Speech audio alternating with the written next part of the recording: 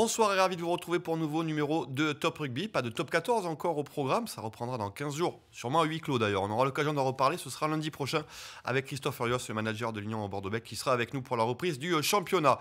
On va donc refermer la petite parenthèse Top 14 pour s'intéresser au rugby amateur après la Fédérale 1 et la Fédérale 2 avec nos équipes girondines. Et bien on va aller voir en Fédérale 3 ce qui se passe du côté de Mérignac avec l'AS Mérignac Rugby. On a l'habitude de les avoir chaque année aussi. Il y a toujours plein de choses à raconter. On va donc euh, d'abord saluer nos invités. David Darquier, le président. Bonsoir David. Bonsoir Mathieu.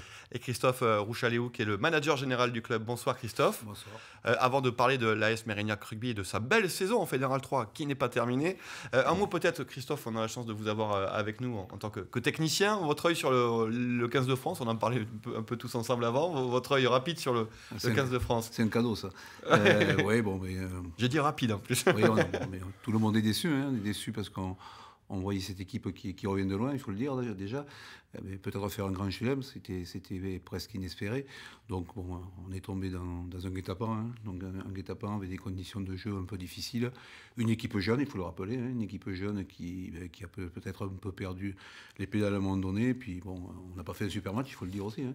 Donc euh, les, Écossais ont été bons dans l'agressivité ils nous auront un peu provoqué. Voilà, on est tombé dans le panneau.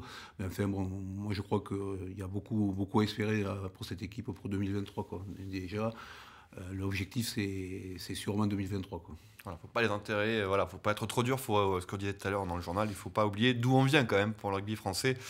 et c'est vrai que ce qu'on peut regretter pour un peu aller, plus loin, c'est que bah, on soit un peu dans les disciplines sur des matchs clés le quart de finale de Coupe du Monde, où ce match-là qui était important pour le Grand Chelem. Allez, on referme la parenthèse équipe de France parce qu'on a plein de choses à dire aussi euh, pour euh, Mérignac. Euh, David, d'abord un mot sur la, compétition, le championnat de France. Vous restez sur 11 matchs sans défaite. Ouais, on, dira peut-être après la, clé de la réussite, mais vous, quel est le regard vous portez d'abord sur cette saison qui n'est pas terminée, mais qui on a, on a, on a bien repris du moins en ce milieu de championnat. On a très mal démarré la saison. On a commencé par euh, ne pas descendre du bus, euh, comme on peut dire, euh, au Sable d'Olonne pour le premier match de la saison. On a pris 40 points quand même. Derrière, une défaite à Léognan un peu chaotique avec un match, on va dire, à l'ancienne, avec des cartons rouges, etc. Ce qui nous a fait très très mal démarrer sans ce début de saison. Puis on s'est remis à l'entraînement. Les garçons sont mobilisés avec le staff. Euh, on a bien travaillé et aujourd'hui, ce qui nous permet de, effectivement de, rester avec euh, sur 11 matchs sans défaite, sur une, belle dynamique et euh, on peut le, voir sur les images. Même si vous, venez voir notre équipe, on produit du jeu. On sent que les garçons s'amusent sur le terrain et on a envie de, produire du jeu, d'envoyer de ballons à l'aile et, de faire vibrer les, les tribunes à Brett. Vous êtes deuxième de votre poule derrière Barbezieux. Vous êtes seulement à quelques longueurs, hein, euh, à 3 points seulement, je crois, de, de Barbezieux. Et puis vous êtes à, plus 4 sur Nontron que vous avez battu il y, a, 15 jours avant de vous déplacer dimanche prochain à Mussidan, qui est plutôt en bas du, tableau. Mhm. C'est quoi les clés de la réussite quand même, euh, Christophe, vous en tant que manager euh, général de, ce club? 11 matchs sans défaite, ça fait rêver beaucoup de gens. Quand même. La dernière défaite, c'était au mois d'octobre. C'est ça. les clés de la réussite, c'est David l'a un peu abordé, c'est on est mieux préparé physiquement, je crois, cette année. Donc, on pratique un jeu qui, se veut complet, hein, avec par moments des, petites ratées. Hein. mais euh, je crois que euh, déjà, les, garçons ont des projets. Donc, le projet, il a changé l'an dernier avec des nouveaux entraîneurs. Donc, on a eu une année un peu, difficile l'an dernier, avec quelques péripéties qui n'ont pas été en notre faveur. Cette année, mais, euh, on gagne. Donc, quand on gagne, on a en confiance. Donc, des matchs qu'on aurait peut-être perdu l'an dernier, on les gagne cette année. Après, encore une fois, c'est le projet de jeu qui est bien inculqué. Euh, une meilleure préparation physique, puis, puis après, euh, tout va bien. Euh, on essaie quand même de déplacer le ballon beaucoup. alors, des fois, avec des manquements. Hein. Vous parlez de Barbezieux. Barbezieux, on, était sur le point de marquer l'essai du bonus. On croyait qu'on avait marqué, on s'arrête de jouer, on prend un essai de 100 mètres et, après, après, ils reviennent, ils font, ils font match nul chez nous. Donc ces points vont nous manquer pour finir premier ou second. Mais on a encore espoir d'être dans, les deux premières places. On verra après justement qu'est-ce qu'il faut faire, hein, qu'est-ce qu'il y a la suite, hein, parce que vous êtes quand même en balotage favorable pour faire un peu de politique euh, pour une qualification. Euh, Christophe a parlé du projet de jeu. Le groupe, on a entendu que le staff a changé à l'intersaison. Le groupe, il a beaucoup changé aussi, euh, le groupe senior à l'intersaison Non, on a, on, a conservé le, staff, on a ah. juste complété avec un préparateur physique qui, qui justement nous fait le plus grand bien, je pense, cette année. Euh, le groupe n'a pas changé, c'est un peu euh, ça aussi, je pense, qui fait euh, le cœur de, notre effectif, c'est que on a une majorité de jeunes issus de la formation mérignacaise. On a complété avec 3-4 joueurs qui arrivent de l'extérieur, mais qui connaissaient surtout tous les joueurs présents chez nous. Et donc, ce qui nous amène à avoir un collectif vraiment homogène, jeune, bien évidemment. Ça, c'est le nerf de la guerre de notre projet de développement du club à Mérignac et euh, un, effectif qui vit bien, des garçons qui s'entendent, je pense qu'ils sont vraiment copains, voire amis, et qui prennent du plaisir à être ensemble euh, au rugby et en dehors du rugby. La formation, on en reparlera bien sûr en fin de, cette émission parce qu'il faut quand même le dire, un Mérignac est un centre d'entraînement labellisé par la Fédération française de rugby. C'était l'un des premiers en France, donc euh, ça met en avant évidemment la, la formation mérignacaise. On reste quand même sur l'équipe première et cette fin de, de, saison. Il reste 5 matchs encore à jouer. Vous êtes deuxième, a priori en balotage favorable, on va dire, pour la, qualification. Juste, David, euh, comment ça se passe après C'est quoi C'est les, quatre premiers, les six premiers euh, pour la qualif? euh, C'est les quatre premiers, Mathieu, qui, qui sortent en 32e de, de, finale, aller-retour. Donc si on est dans les deux premiers, on jouera le match aller, le match à l'extérieur et donc avoir la chance de jouer le match retour à domicile. Et ensuite, on a un 16e aller-retour à jouer aussi. Et euh, une fois ces deux tours passés, on, la montée est acquise pour être en Fédéral 2. Et derrière, le championnat de France continue avec un huitième, quart, demi-finale. on, en est très loin, bien évidemment. On n'est pas, on est, je pense qu'on devrait être qualifié, mais euh, le but est vraiment d'être dans les deux premiers. Donc euh, il reste cinq matchs, cinq matchs très très importants et, et du boulot pour, pour notre effectif.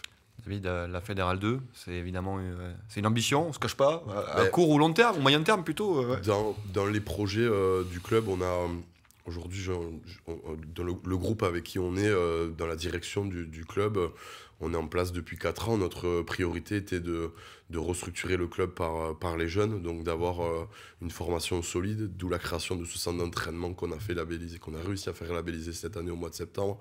L'idée, bien évidemment, une fois qu'on a fait cela, c'est d'accéder à l'échelon supérieur. Donc en début d'année, euh, on s'était dit que sous deux ans, il fallait essayer d'atteindre le niveau de la Fédérale 2. Voilà, comme j'ai dit aux garçons il n'y a pas très longtemps, à Noël, on a peut-être la chance cette année euh, de pouvoir se jouer euh, cette montée dès la, première année, euh, les objectifs de la première année du club. C'est pas, pas les matchs hivernaux qui sont les plus sympas à jouer dans la boue et sous la pluie et dans le froid. Donc j'aurais dit, vous avez la chance de faire des phases finales, de jouer devant du monde et sur un beau terrain et, et avec le soleil. Donc profitez-en cette année, ça n'arrive pas tous les ans. Christophe, c'est la bonne saison pour aller chercher la Fédérale 2 je ne sais pas, parce que le, le, principal adversaire de Mérignac, ça peut être Mérignac aussi, parce qu'on a une équipe jeune, hein, pleine d'enthousiasme, avec les défauts de la jeunesse, c'est-à-dire qu'on est un club où on vit bien, quoi. On, fait, on, fait, on fait bien l'apéritif aussi. Donc euh, il y a des petites soirées. Euh, avec modération, ça va de soi. Pas que, pas que. pas que. C'est-à-dire qu'encore une fois, la jeunesse, elle est enthousiaste, mais des fois, elle oublie de monter dans le bus, puisque euh, on a fait un déplacement où il nous manquait un joueur, un joueur important. Voilà, donc c'est ces petits, ces petits. On est dans la recherche de performance, mais pas que. Quoi. Ils ont conscience du potentiel qu'ils ont ou vous pensez avec un peu plus d'application de sérieux, on pourrait aller plus loin voilà. ça que vous voulez dire? Moi, je crois qu'avec un peu plus de sérieux, mais bon, après, on a les qualités de nos défauts. Hein. Ils sont jeunes, ils s'amusent, c'est bien, on le voit sur le terrain. Après, euh, si on était un peu plus exigeant, peut-être qu'il y a encore d'enthousiasme. Donc, euh, bon, il faut, il faut concilier avec ça. Euh, comme le dit David, l'arrivée des phases finales fera que peut-être il y aura une prise de conscience qu'en faisant un peu plus attention eh bien, aux avant-matchs, on pourrait être un peu plus dans la performance. Mmh, partenaire, tout le monde peut suivre. Enfin, voilà, financièrement aussi, la Fédérale 2, c'est quand même autre chose. Vous y travaillez, j'imagine Oui, mais bon, au, final, ça nous, on a pour ambition de conserver notre groupe. Et euh, parfois, on n'a pas. Enfin, je pense pas qu'on ait un besoin forcément d'aller chercher beaucoup de joueurs euh, pour augmenter la qualité de l'effectif, qui est déjà, à mon sens, qualitatif. Donc, euh, si on parle de déplacements, les déplacements ils seront moins longs en oui, Fédéral 2. Dire, il y a du monde qui vous attend. Qu'en hein, Fédéral 3. Donc, en Fédéral 2. J'irai moins Charente, par contre. Non, non, je pense pas. On a tout le soutien de la mairie, d'autant plus, et, de nos partenaires, bien évidemment. Donc, je pense que ça serait un rêve éveillé pour tout le monde. Et, est vraiment une, une super nouvelle. Donc, euh, essayons de ne pas trop rêver, mais plutôt de mettre en application, comme a dit Christophe, euh, vraiment sur le terrain, l'entraînement pour, pour pouvoir atteindre cet objectif. Christophe, vous êtes manager général, ça veut dire que vous avez un œil un peu sur toutes les équipes, hein, si j'arrive à, bien traduire ce titre-là. On va parler des jeunes aussi, mm. parce que, et là on va faire la, transition vers le centre d'entraînement. Euh, il y a quand même deux, les U19 en, nationaux, U16 en nationaux et U16 aussi en régional. donc comment ça se passe pour les, les, jeunes en termes de résultats? Alors sur les, sur les sur les U16, cette année, c'est une, année un peu compliquée. Hein. Donc euh, on n'est pas très performant, on n'est même pas du tout performant. Par contre, sur les, nationaux en junior, on est invaincu. Donc ça c'est quand même très très bien puisqu'il y, a des, joueurs qui vont pouvoir intégrer l'équipe première même si on monte à, très court terme, quoi, parce qu'il y a vraiment de, la qualité. un groupe qui, fait un très beau jeu, qui, est sérieux dans la, préparation. Après le, le groupe régional, c'est moyen. Ensuite, on a un gros projet avec David sur la restructuration de l'école de rugby. On a Marc Offray qui a pris la direction de l'école de rugby, qui a fait un gros boulot cette année avec tous les éducateurs. Donc le club, il est, bien, il est bien là, il est avec des objectifs ambitieux. Euh, ce petit trou en U16 qu'il va falloir pallier, c'est tout. Bon, pour aller plus haut, il faut avoir de bonnes fondations. Je sais que vous y travaillez depuis longtemps, David, parce que vous venez chaque, année nous, nous voir avec plaisir d'ailleurs. Euh, et c'est vrai qu'il y a eu une information euh, importante dans la vie du, club ces dernières années, c'est la labellisation du centre d'entraînement par la Fédération française de rugby. C'était en septembre dernier, le 28 septembre, si ma mémoire est bonne, voilà, euh, au euh, stade Robert Brett. Qu'est-ce que euh, qu'est-ce que c'est? Qu'est-ce que ça va changer pour le, pour le club? C'est déjà un signe de qualité de la formation mérignacaise, quand même. C'est un... cette labellisation est l'aboutissement, on va dire, administratif d'un travail fait depuis 4 ans par nos équipes dont euh, on peut citer plusieurs noms, mais Christian Lassor, Franck Taillefer, Marc Offray, euh, Michel Barjou, Alexandre Alias, euh, voilà, les gens qui sont impliqués dans ce projet de, formation au sein du club. Comme, comme vous l'avez dit Mathieu, oui, bien sûr, vous savez que j'aime bien mettre les fondations, de monter les murs et mettre le toit dans la construction d'une maison. un club de rugby, je pense, se bâtit de la même sorte. Aujourd'hui, ce centre d'entraînement, il marche correctement, mais ça prend du temps, ça, ça, prend de nombreuses années à se mettre en place réellement pour amener de la performance, de l'exigence envers, euh, envers les garçons qui allient euh, à la fois le côté scolaire et le, et le côté rugbyistique. L'idée, c'est pas que de faire des rugbyman. Hein. Euh, il faut pas oublier qu'on est au niveau amateur, donc c'est avant tout de créer des hommes, de faire des hommes et d'avoir euh, des gens qui auront, des garçons qui auront un, travail qui leur plairont et sur lequel ils seront épanouis. Donc ne, pas dénigrer la formation professionnelle. Euh, humaine aussi, qui est très importante à mon sens, ne pas oublier les valeurs du rugby et, euh, et, le tout prendre un peu de plaisir en jouant à notre sport, en s'entraînant un peu plus que les autres et essayer d'aller chercher un niveau de performance euh, plus supérieur. Ambition sportive et éducative et pour y rentrer, voilà, il y, y, a des tests, j'imagine, des sélections aussi. Oui, bien sûr, bien sûr, on fait, des, on fait des journées de détection, donc là on, a, on est en train d'en prévoir une, je pense qu'on en fera une deuxième aussi.